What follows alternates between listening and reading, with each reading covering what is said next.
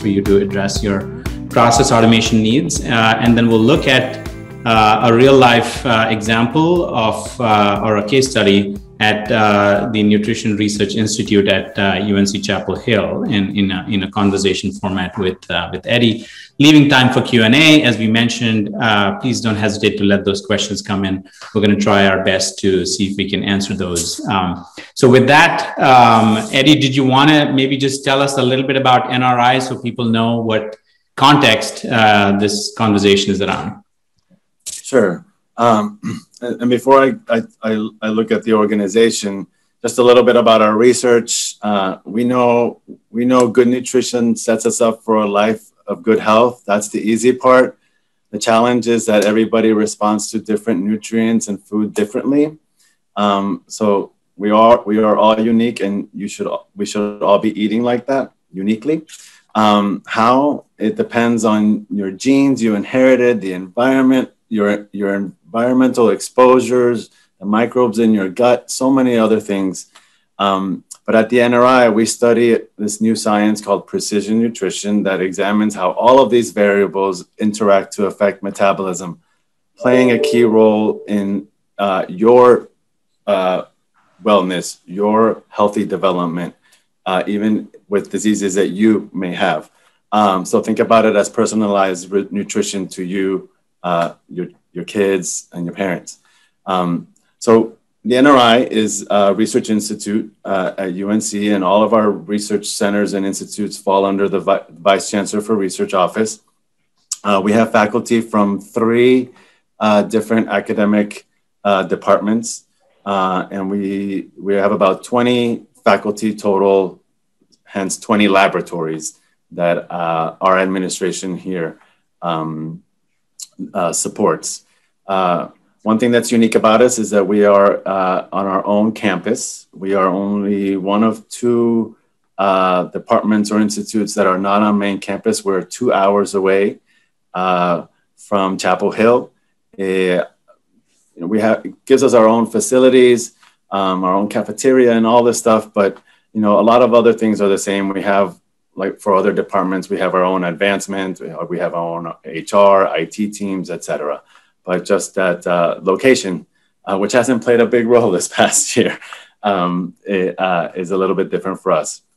In terms of research administration, uh, we have one grant manager that's over pre and post, and then uh, under him we have one pre-award specialist and one post-award specialist. Well, great. Hopefully that uh, you know draws a parallel to uh, institutions that that our audience sees. Uh, so, in in the effort to get uh, this session as tailored as we can, uh, we're going into our first survey question. And so you can go to the poll section uh, within your webinar module, and you'll see this question: What are your goals from process automation? And you're going to see some options out there. Uh, were you looking to achieve agility? Was it compliance? Was it efficiency, budget, or reporting, or something else? Like I said, you can choose more than one, uh, but please try and restrict it to a maximum of three. And um, we'll give you uh, a few more seconds uh, to respond to that. And uh, and Gina, I'm wondering if there's a way for us to uh, get some results when you have them come in here. Sure. So waiting for the results to stabilize now, which it looks like they have been. So right now, voting shows that everyone, for the most part, is kind of mixed. Um, about 14% of folks voted on agility. Um, another 14% voted on compliance. Another 14% voted on budget another 14% voted on reporting. However, the majority at 43% voted on efficiency. That is very interesting. Um, excellent. So we'll keep that in mind. Uh, so, Eddie, uh, just to recap here efficiency, the winner by a very wide margin here. Any comments uh, from your side? Yeah, I mean, I, I relate, I relate to, I relate to all of them. Uh, you know, I think efficiency to uh, you know for all of us in research administration, not just uh, in a question for us internally in our processes, but something that I've run across in, in it is is our goal is our goal should always be to reduce our faculty's administrative burden, right? Um, and and and make at least for me free them up to be able to do their research. But uh, I, definitely efficiency in so many ways and, and automation uh, just are so helpful. Um, it, agility, I heard was also mentioned. Uh, you know, being flexible, uh, working from being able to work from home, the ever-changing grants NIH policy statement. I think it just came out uh, April, April, right? This this month. Um, so yes, uh, we, we will we'll put these we'll put these in a bucket and we'll, and we will uh, talk about how uh, these um, we address these these goals in our project. Absolutely. And so, if if if that is one of the top goals, let us learn uh, from the audience again uh, where they think their hurdles are. So again, uh, folks, you will go to the poll section for the second survey question. Uh, what are the common hurdles to process automation in research? So, if, for example, efficiency was your key goal, what's holding you back? Uh, or if it was agility, what's holding you back? And you'll see that we've uh, picked up some top ones that uh, we come across quite frequently. Is it budgetary constraints? Is it um, the lack of technical resources or ability to attract them, uh, just the fact that there's a lot more paper there, uh, you having challenges just trying to get integration across different disparate systems. Is it just the complexity of your processes? Uh, are you are you having to deal with changing regulations, or or is it something else? Again, please keep it limited to your top three. If you want to pick more than one, um, and we will momentarily uh, look out for um, what we uh, have in terms of maybe some consensus here, or maybe not. All right. So the results right now, about 13% of folks voted on budget constraints, 13% voted on manual paper-based processes, and another 13% voted on complex approval workflow processes. Um, a quarter of the audience voted for challenges integrating across many systems, and the majority at 38% voted on lack of technical resources. Excellent. Yeah, um, same, same, same here, uh, everybody in the audience. The lack of technical resources. Um, I, you know, one, they're expensive, right? And, and two, it's very difficult uh, for institutions to compete against limited internal resources. How do I get IT's attention on my project over here? Um, and uh, so we definitely we definitely face face that as a challenge. Um, uh, budgetary constraints, I think, was another one that was that was that was high up there. Um, you know, especially post COVID, right? I mean, uh, the the the issue is is that if you don't make investments at one point, uh, you know you can definitely ca- get caught in a vicious cycle of inefficiency. I think scalability is something to look at when you look at implementation and budget. So start small and grow. Um, yeah, but yes, definitely budget budget constraints and uh, complex complex approvals. Um, you know, I guess I guess a lot of uh, I guess a lot of uh, members in the audience uh, have dealt with forms that have 12 signature lines. um, I know I know I have, and so that that that's key.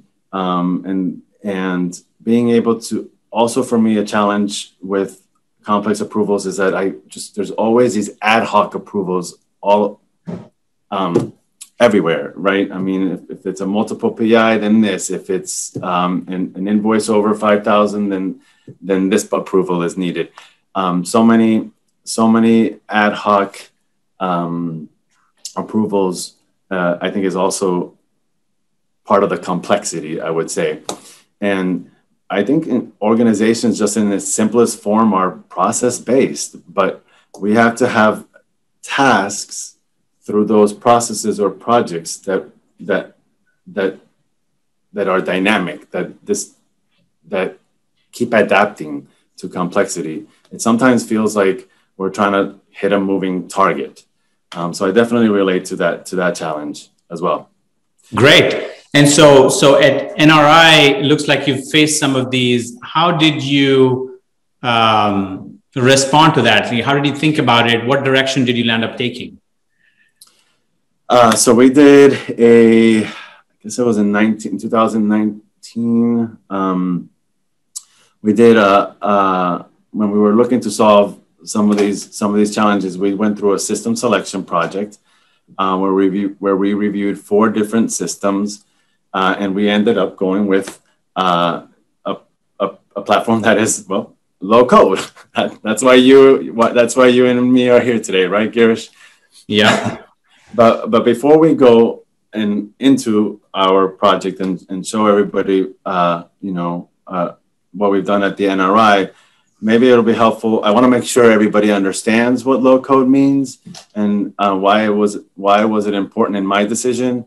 Um, and Girish, would you be so kind to give us an overview on, on what low code means to you? Oh, yeah, absolutely. I'm, I'm happy to give a quick overview on that, going in the wrong direction, I guess. so, uh, uh, so many of you have actually undertaken um, workflow or process automation. You're typically going to be uh, on one of the two ends that you're seeing on this slide, either on the left or on the right, meaning you're typically you've either bought something off the shelf which is a ready-made application just got it up and running quickly there's a growing uh, you know uh, popularity of saas or um, off-the-shelf applications if you will right and, and some of you have sort of custom homegrown software which is on the left hand side and what low code is uh, what you're seeing right in the middle is a way to uh, build those applications using some pre-built components uh, and not requiring too much of a technical uh, background for folks. Uh, and so, and so, the reason that uh, we are talking about low code um, is, for example, one of the reasons you folks mentioned, which is that research institutions typically don't have access to a lot of technical resources, nor do they have access to big budgets, right? And so if you go off the shelf, typically you can get the application up and running quickly. Uh, but in many cases, you're trying to put a square peg into a round hole. You have to tailor it, and that's kind of expensive. And uh, and and and and you you can land up spending a lot of money, right? And if you see on the left hand side, custom build, you'll get exactly what you want, but it may take longer. Um, and by the time you're done with it, um, and you spent a lot more money than you thought you would, um, uh, it may be too late, meaning the world has moved moved moved ahead. And so that's why uh, we've come up with this low code platform, which is kind of like the analogy in this case of a Lego set of Lego blocks that you put it together uh, quickly with limited technical resources. Um, if you're on the technology or the IT side of the organization, this is what it means for you, right? So this is what I'm showing here is a typical application sort of landscape that you would have in your institution where you have a few so-called backbone applications, right? You have grant management, you have compliance, you have facilities and equipment and such, right? You have a few backbone applications. And then depending on the needs of the individual folks, you've either built or bought multiple applications which are sort of connected together in all possible ways to make your processes run, the end result is you've landed up here. And the problem with landing up here is anytime you want to add a new application now, you have to go and look at the interconnectivity and you know one of the challenges that was mentioned was integration so any new app becomes that much more expensive and it becomes just hard to change and the cost of maintaining something like this uh, becomes extremely uh, expensive over time and so, what a low code uh, platform allows you to do is it gives you a set of templates and it gives you sort of a common platform that does sort of all the integration for you.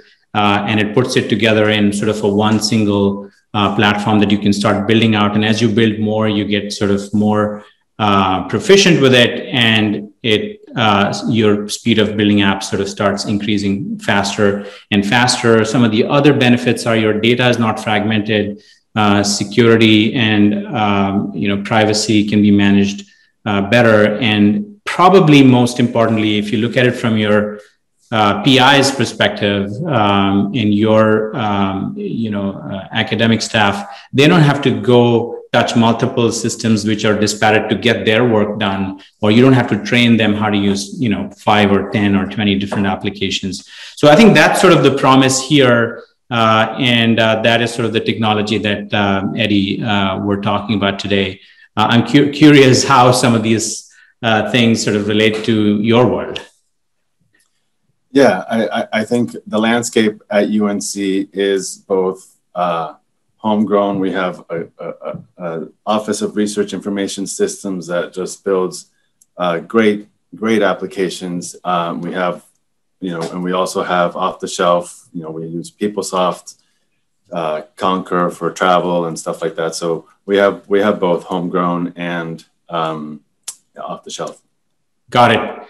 And so, you know, folks told us today on the webinar, uh, for example, that you know their top priority was uh, uh, number one efficiency by by by far, and their top hurdles that at least the top two were lack of technical resources and the challenges with sort of uh, integrating. Uh, how does that relate to your world, and what steps did you take to uh, address that?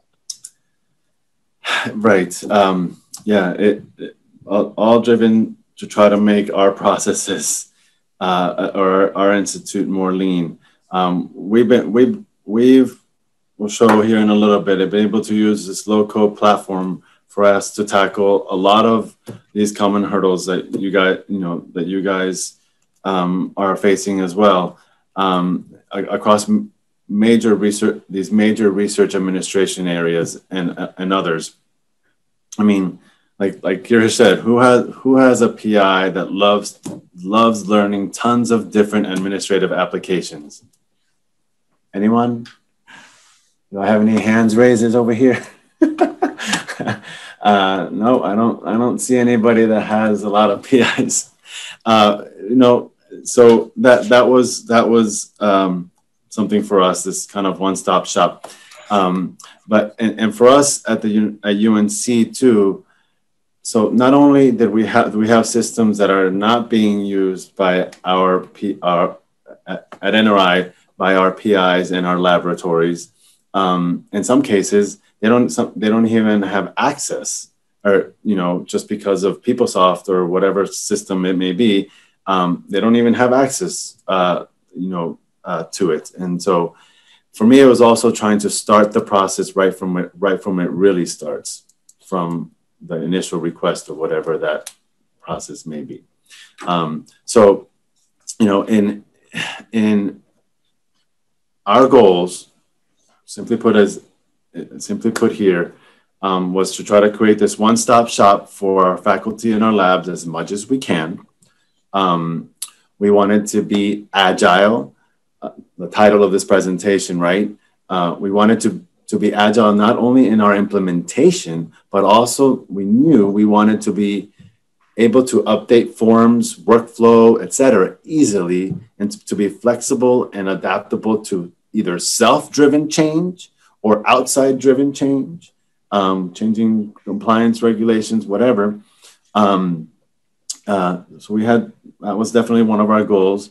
Uh, a short implementation time, timeline. Uh, you know, in my experience, and I think I think you guys know as well um, that some of these things, some of these implementation projects take a long time. So we, we were very mindful. I wanted to be very mindful um, and trying to keep our process transformation project timeline as short as possible uh, to get my ROI, uh, you know, as fast as, as fast as we can. Had to show my director something quickly. um, and uh, limited limited IT resources. We already explained. Uh, you know, we we um, have two IT here uh, that manage our servers, manage our applications, ma- manage you know all all what's I what all that is IT, and uh, um, we were able to do. You know, we wanted to be able to do it in house. Um, and uh, lastly, and most importantly, reports, reports, reports. Um, you know, the the university has really has UNC has provided us with a book of queries from PeopleSoft. We have great grant reports. We have access to data from, you know, I don't know, 15 different systems, but they're all, like you said, Girish, they're all siloed. Um, Got to bring data over here, for, over here, and bring it into a, a spreadsheet, pivot tables, whatever, VLOOKUPs. Um, you know, it, that's an issue. But also, the data that we get is not necessarily operational data.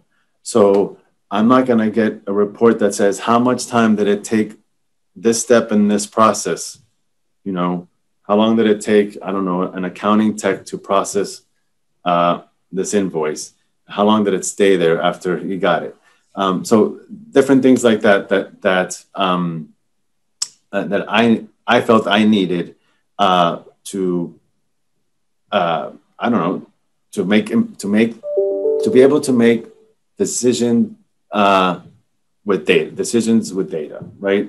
Um, uh, I needed to help NRI become more efficient and I felt like when I got here two and a half years ago, I was working working blindly, right? I didn't know what was going on. Um, so, anyways, those were those were, our, those were our goals. That's great. That's that's helpful to know. So, from a time check perspective, we're about the 27 uh, minute mark, and oh. so you know, folks, let please let your questions come in. We're going to try and leave uh, time uh, towards the end uh, for the questions, but we definitely want to make sure we get there. Uh, so from your perspective, Eddie, uh, you know, obviously we looked at the, you know, overall sort of landscape. There's just so many processes, right? Like, how, how did you get started? What, what was your first step? Um, funny you should funny you should ask the question, Girish, because uh, Girish was the one that uh, introduced me to uh, process uh, automation, uh, process sorry, process application mapping. And if you want to go to the next uh, screen. Um, yeah. You know, I think there's there's two approaches to these uh, initiatives: tactical, the known processes automations that you need, and then strategic process process application mapping to help you prioritize uh, your workflow automation. So what I'm showing here is a very high level representation of research administration areas on the left, um, and and on the right, uh, uh, sorry, across the top um, table is all potentially all these different systems that we have to be in in, in working with research administration. Um, and even though this is a very high level chart, uh, you know, I think it'll it'll vary uh, for all of us on on this call. Um, but so let's just take one example here. You know, uh, agreements, uh, the third one down for us, you know, or for research administrators, um, and, you know, in the dozen of different agreements that we process, uh, you may be working on two different systems. One to to negotiate it, and then if it's a if it's a funding agreement, not a DUA or a MTA or something like that, you may be working in a second system for award setup. So everybody's landscape is going to be a little bit different, but so this is just kind of a high level. But what we did in order to prioritize, if you can go to the next slide, Girish, is that for is that for each of those boxes on the previous slide, we took a deeper dive and looked at our current systems and our processes. Um, we went through a long list of, of areas and processes across and all of NRI operations, uh, you know, including research administration. Um, and, eh, and we, we basically prioritized based on our satisfaction with with the process or the systems that we had, the homegrown system, the great homegrown systems that UNC provides, um, but also what we needed to what we needed to improve on. Um, and we landed on on finance functions as a top area where we needed to focus on, but other needs across the across uh, the NRI quickly came to light for us. Um, just really kind of going through this um, you know, function by function, I would say, of, of, of your specific uh, either department, college, or you know, office of sponsored research. and, and um, uh, you know, and I'll I'll touch on every on on on some other little things that we came across uh, a little bit later, but you can you can you can find that your focus is going to be unique to you, right? The, um, but this process, I guess, helps you give you clarity on where you should start. Um, and when I mentioned scalability, you know, maybe you start small and then you expand. Um, I know, I know we have, you know, eh, I, I know this. Everybody would would land different. We have members from different parts of the university here, so. Well, that's great. So uh, I'm I'm curious. Uh, like you mentioned, this journey is going to be unique.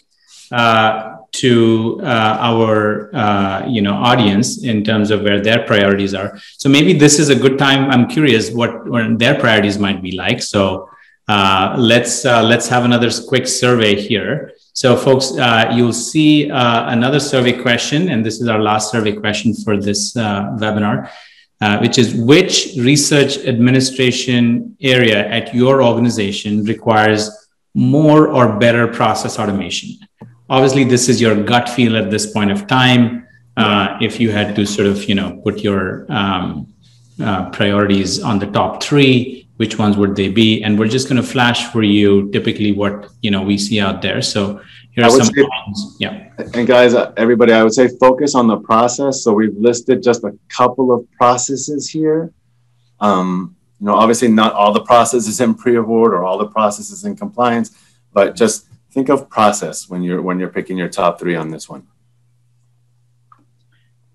Right, your your top top three, uh, and we'll again wait for uh, a few seconds for you to reflect on this, uh, or maybe more than a few seconds given the number of options out here. Um, a lot of three-letter alphabet soup.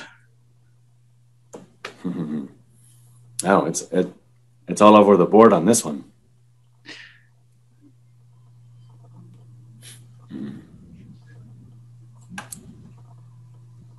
So it looks right. like the results have stabilized. So it it is very, uh, as Eddie said, very across the board and very um, evenly distributed. So about 15% of people voted for pre-award, 15% voted for post-award, 15% voted compliance, another 15% voted for finance research expenditures, and 15% voted for effort salary distribution. Mm. And then uh, another small group of folks, 8% voted for agreements, 8% for animal facilities, and 8% voted other. Got it. Very, very cool. Well, yeah. Uh, Not surprising, right? right. Uh, and, and, congrats everybody for taking your first super high level, quick little step on towards process application mapping. Um, I think what we're going to do uh, for the remainder of our time together is to show you what what happened at the NRI after we took this deeper dive into into our into our prioritization. Well, great. Uh, let's talk about that, Eddie. So why don't you take us through what you went through? Sure. Um, so uh, Tigris, our task integrated research information system. Um, you know, after after our prioritization process, you know, we landed on two group two group of processes. Uh, that we were going to implement. Group A and uh, had a higher priority than uh, Group B. It took us about 18 months to shepherd both groups. It. Uh, it, took us uh, 18 months to shepherd both groups through our implementation methodology, design, spec writing, building, uh, unit and user unit and user testing and training. Um, one over one unforeseen advantage uh, uh, that we came across with low code is that it being so very intuitive with the building blocks that Girish was talking about helped us speed up our implementation timeline with Group B, um, specifically with our build, our, our testing, and our training. Um, just very evident to, to me how the learning curve on the on my tech team uh, was very steep uh, from building just from one process to the to the second. Um, you know, we didn't have any outside resources. Uh, you know, we, we uh, IT resources. Um, I have my implement my um, you know implementation um, experience from Huron. Um, so I, I like documentation. Um, but you know, we, we in 18 months we got we completed uh, 25 unique workflow processes um, with the with the FTE that you see here. Uh, just half a tech team, 0.25 of a functional team, and sure, as always, uh, uh we brought in our we brought some subject matter experts in to help us in design. That's that's great uh, overview, uh, Eddie. And I know that you know, given your background, you're uh, you know probably more uh, likely to sort of go deep on the documentation and the uh, planning side. Uh, but you know, we we have you know folks that work with this technology on both spectrums, right? I mean, those that have a painful pain point in a very specific area, wanting to do something relatively quick and dirty, and then those looking for more transformational and uh, I guess you know one of the things with a low code platform is just the ability to not need to have to do a lot of documentation because you can build quickly and be agile and iterate because it doesn't take much to build it up and mock it up and show people and then they can react to that so. Right. No i i agree. I agree. We uh, we i, I am learning to be more agile during implementation.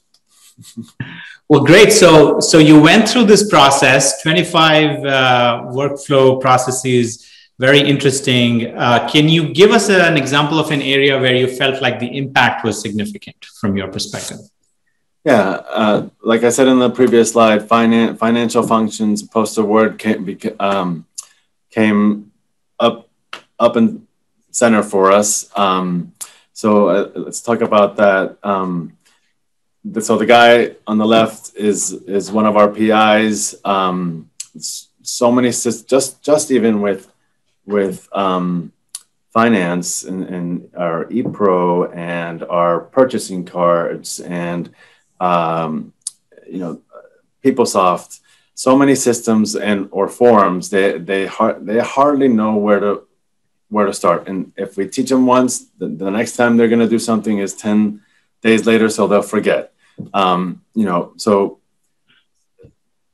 let's just if whether that's paying an invoice or a you know PO or paying a service center or submitting a credit card receipt, whatever it is, um, we wanted we wanted it to be like this one-stop shop, as as we said. Um, but at the end at the NRI before Tigris, we had we had created uh, dozens of fillable PDF forms. I mean, that was really hot when we were able to do that, right? And new technology that was cool and that the PIs would fill out to start a process. I mean, but we had so many. I kid you not. I mean, we could have changed our name to Fillable PDF Research Institute. I don't know. I don't know how many how how many exactly uh, for finance um, and for everything else that uh, uh, that's not finance. How many forms uh, are no longer PDF forms are no longer they're now intake smart forms in in Tigris across you know finance and many other uh, functions at NRI.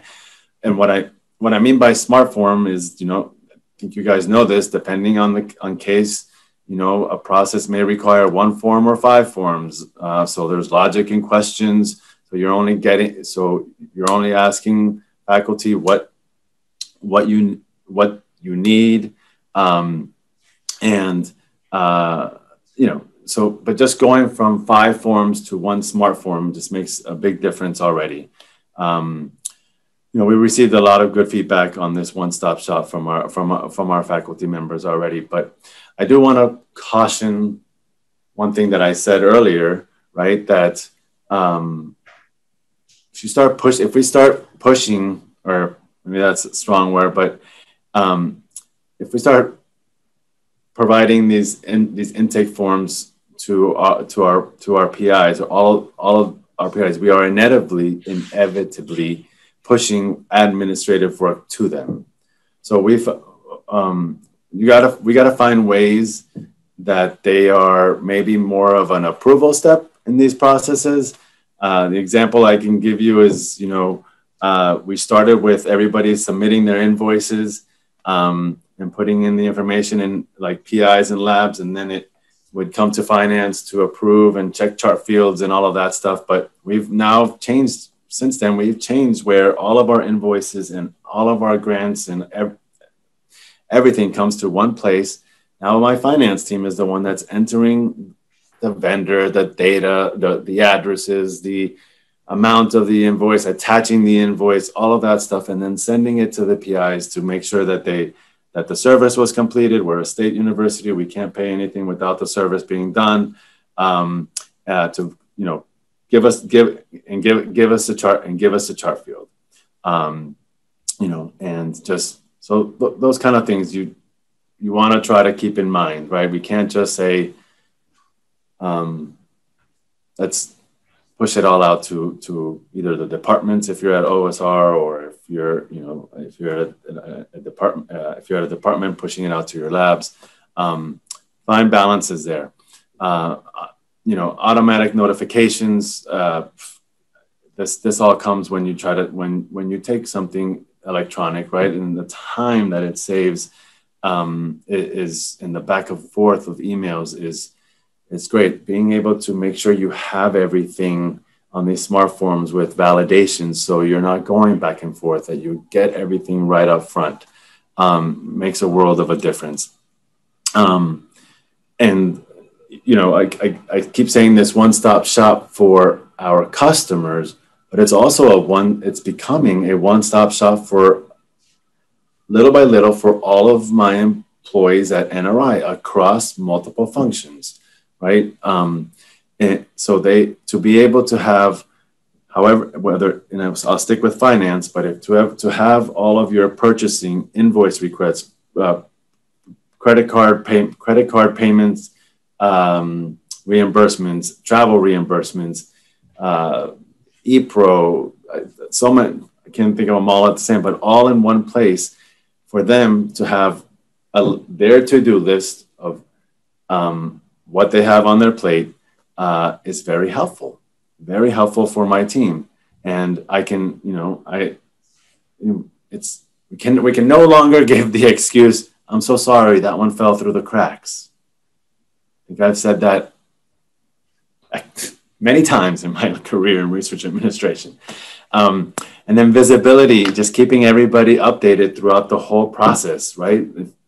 Start like like a like a like a purchase order request, um, you know, and, and the process that it takes to go from creating a requisition to when is the RFQ sent out to vendors, uh, the vendor selection, when did that happen? Uh, you know, and, and a lot of PIs just are grateful, have been grateful to be like, I feel like I'm not no, no longer sending a request and then it's goes out in this in this black hole, and then all of a sudden I have a PO, right? It so just to keep them keep them alerted through reports, but uh, and, and, the system itself where it is in the process in the steps. So each of our processes have these steps: pending pending vendor responses, for example, on uh, on an RFQ. Um, so, anyways, th- th- those are just some of the the very um, impactful things that that that's uh, for finance uh, has have been uh, a real game changer for us.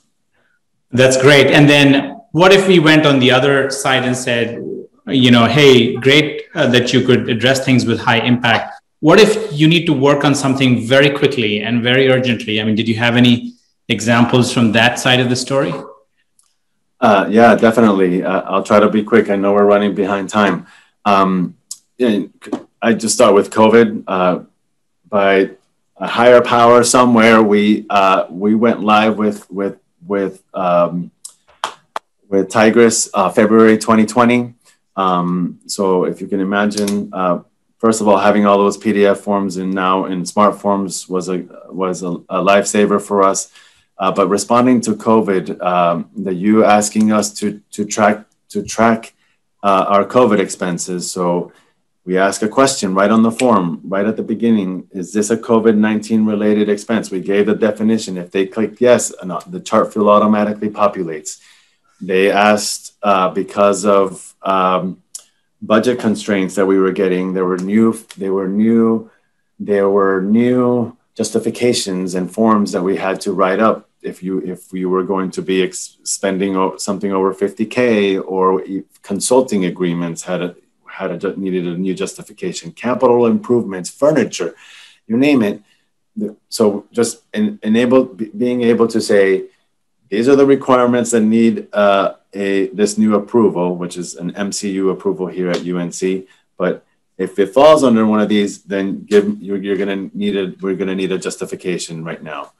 Uh, pre-travel authorization. Um, all of a sudden, we needed a departmental person to pre-approve travel.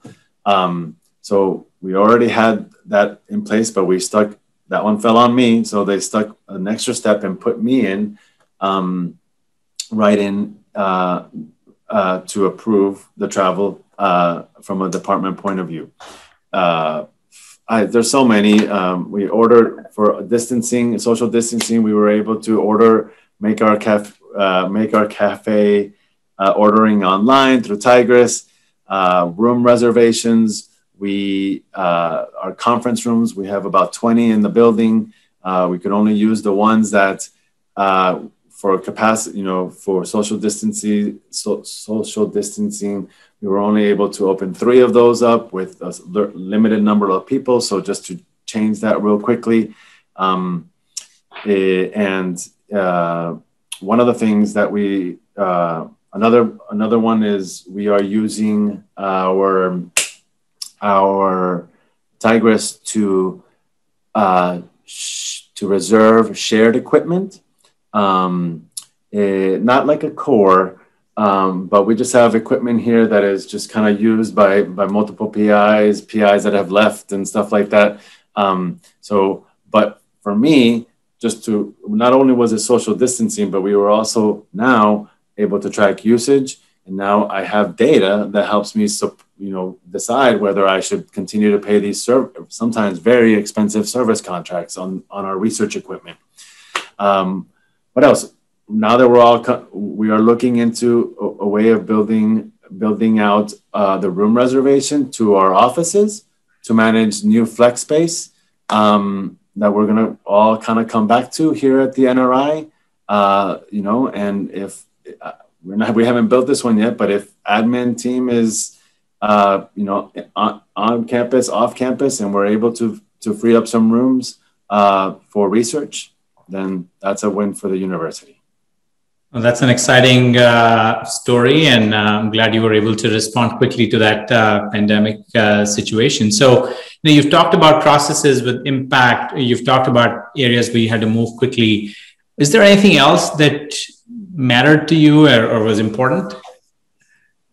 Reports, reports, reports. If I haven't mentioned it enough, reports and data to make informed decisions. I mentioned before I got here, I had to pull from many different, many, many different um, systems to try to put, figure out uh, my operations. Um, but uh, you know, we're currently we're currently in phase three of our project, which is integrating uh, integration with uh, PeopleSoft and Concur, uh, and we're also uh, working very hard to get all of these reports out. Um, in my in my mind, there are there are two different types of reports. These operational and management reports. Operational reports like you're seeing on the screen right now um, metrics on on your operations and service levels right? I mean you can this is just an invoice but if you can just blow this blow this out and you can see a finance dashboard that not just tells you how long things are taking, but maybe how many things are outstanding, how many currently are in this process, in this state, how many are currently in this state, and it'll be alive. And this is and this is built right out of Tigris. Um, I'm not going into I'm not going into another system. I'm not going into Tableau. I'm not. This is graphs are coming out of. I should say these charts are coming out of Tigris.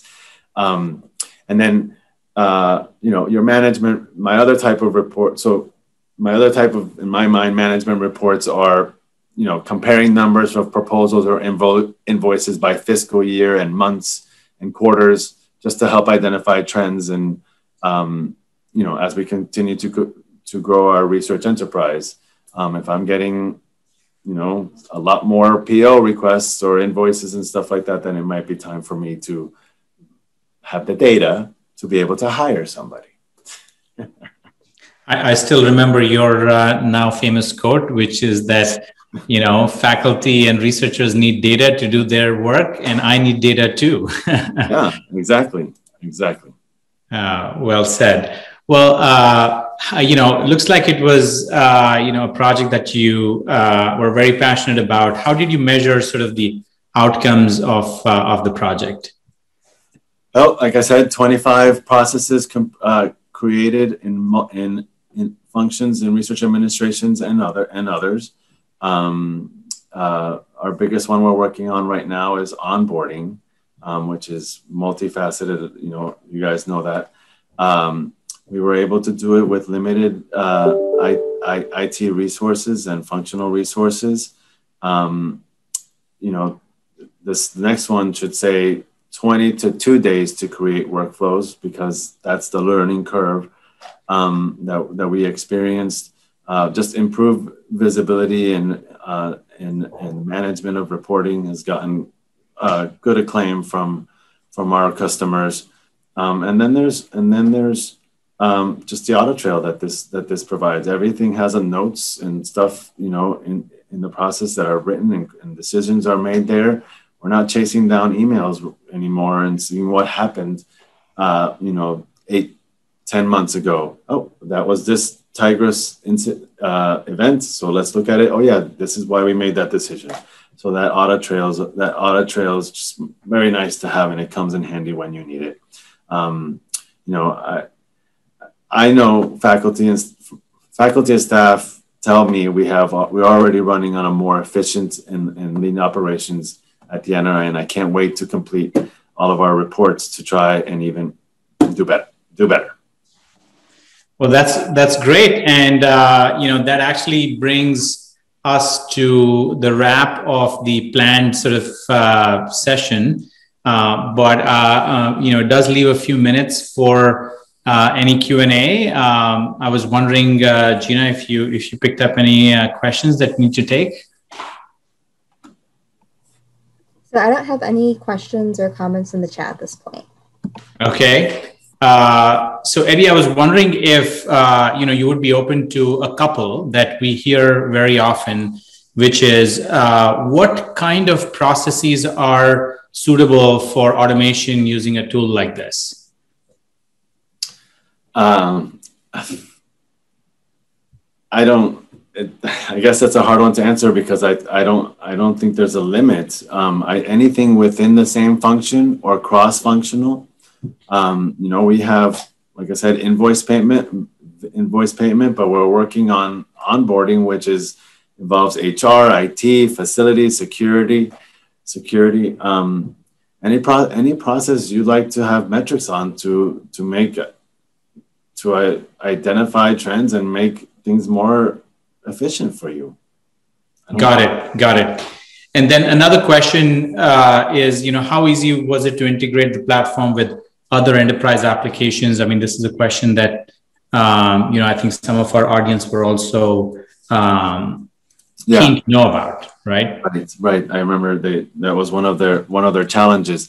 Um, so we're we're able to pull data uh, from PeopleSoft uh, pretty easy. Uh, I don't know if, if it's most universities, but pushing data into into uh, PeopleSoft uh, is, is a harder hurdle to to uh, to overcome. But I, you know, I I I would say that just getting data out of PeopleSoft and other and other systems is very is is very helpful. So if, if I can stick to our finance function an example and the same example of a purchase order in Tigris, right? This request comes into Tigris uh, to create a P, to create a PO.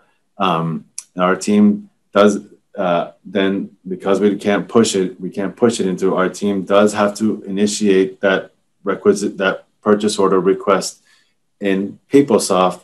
But right as soon as that happens and we get a requisition number, that requisition number is our key, right? And so as as it goes through the rest of the process and data fills in and data fills in uh, in, in PeopleSoft, like uh, you know the date that the vendors re- were sent the the RFQ, that automatic you know through a database view that Tigris provides. I would need my tech guy here, something to do with an API, but uh, you know these these things that happen in, in PeopleSoft automatically get pulled into Tigris, and then that cre- those create those create automatic events in Tigris for us. So Mike, my tech, my my accounting tech doesn't need to go and say, hey, this, you know, this your your um your RFQ was just sent out to six vendors. That all is automated on our end once uh, throughout throughout the throughout the rest of the process because of that requisition number being our being our key. Um, Got we it. Are, we are also looking into um, a, what's it called integrating with Con- Concur as well. Got it.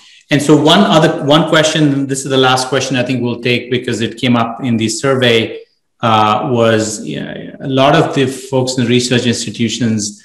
Uh, it's hard to get technical resources. So can you maybe share a little bit about how much of technical resources was really required for you to execute with this platform? Um, I, I, would say not a lot. Um, I am on the functional side of the the, the team, um, eh, so I, I didn't necessarily get deep deep down in the weeds on uh, with with with uh, BP Logix right from the start. But I, no surprise to anybody, wanted to learn how to do get the reports out of out out of uh, out of um, uh, Tigris, and you know it, it, it's building view, it's building views and reports just like forums. I mean, there is obviously more, obviously I'm more into building a process um, and with timelines and notifications and all that stuff. But I, you know, I would really say any business analyst, you know, that understand that would understand pro- that understands processes would be just fine.